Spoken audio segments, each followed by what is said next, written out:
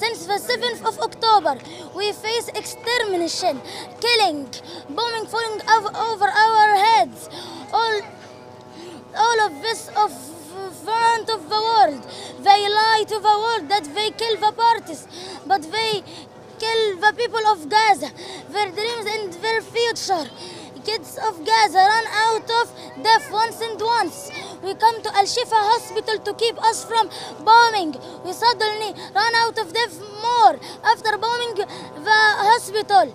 The occupation is starving us. We don't find water, food, and and we drink from the unusable water. We come now to shout um, and invite you to protect us.